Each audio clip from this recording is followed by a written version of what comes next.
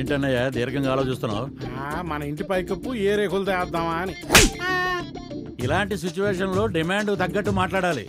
నీ కంగారు ఎక్కువను common sense తక్కువను. ఇలా ఎంతకాలం బావ దగ్గర బానిసలా బతకాలి? బాబా రోజు రోజుకి ఇదిగిపోతున్నాడు మనం దిగజారిపోతున్నాం. అవునన్నయ్య బావ పేరు చెప్పుకుని మనం చేసే అప్పులు కూడా కరోనా వైరస్ లా పెరిగిపోతున్నాయి వాళ్ళు ఎక్కడొచ్చి నిజం చెప్తారని భయంగా కూడా ఉంది. వాళ్ళే కనుక వచ్చి నిజాలు చెబితే మన బతుకులు ఏయ్! అయినా నాకెందుకులే? అన్నయ్య.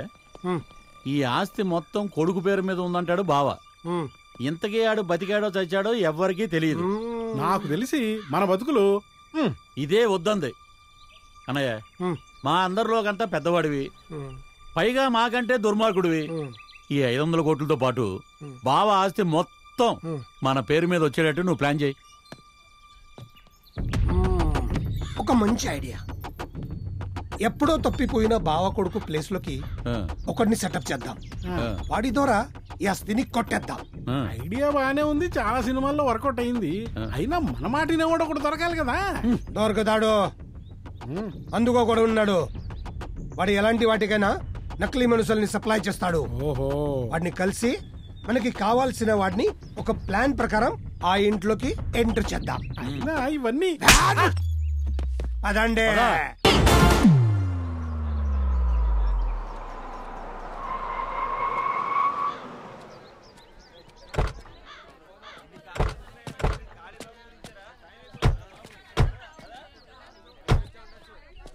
రా ఆ, వాడు ఇక్కడనే ఉండేది. అవునన్నయ్య ఇక్కడే అదండి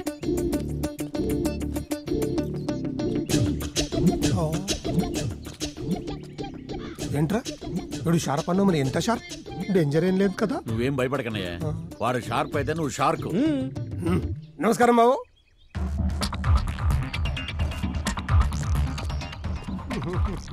ఎవర్రా మీరు? ఏం కావాలి? ఆ, నీతో చిన్న పని ఉండి వచ్చాం బాబు. పనా? మీ పనికి నన్నెందుకు ఎంచుకున్నారు? నీ టాలెంట్ చూసి నువ్వే కరెక్ట్ అని ఫిక్స్ అయి వచ్చాం బాబు. అంత టాలెంట్ ఉందంటారా? ఆ, నీ టాలెంట్ నీకు తెలియదు కానీ నాకేంటి? రెండు రాష్ట్రాల తెలుగు ప్రజలకు తెలుసు. ఆ, బాబు. Oh no టాలెంటే. వావ్. నువ్వు నోర్మోయ్. అయితే మ్యాటర్ ఏంటో చెప్పండి. మీరు ఒక ఫ్యామిలీలో కొడుకుగా నటించాలి. మ్మ్. నటించాలా? హ్మ్. అసలు కొడుకేమయ్యాడు అంటే అది పదిహేనేళ్ళ క్రితం. ఏయ్. అదే ఒక బ్యాడ్ యాక్సిడెంట్లో పోయాడు. పోయాడా? మీరే పంపించారా? మా మొహాలు చూస్తే అంతకుల్లో ఉన్నామా? నీచ్ కమిన్ కుత్తేలా ఉన్నా. కొడుకు పోయాడండి మా అక్క. అక్క? సొంత అక్క? డూప్లికేటా? అంటే సొంతం కాదు కొంచెం దూర బంధుత్వం. అవును బాబు. కొడుకు పోయాడన్న దుఃఖంలో తను కూడా పోయేలా ఉంది. అందుకు నువ్వు పెద్ద మనిషి చేసుకుని కొడుకులా నటించాలి. ఆ. ఇదంతా మా అక్క బావ కోసమే. కాదనుకో బాబు. కథ బాగానే చెప్పారా మొత్తం ఆస్తి విలువెంతో?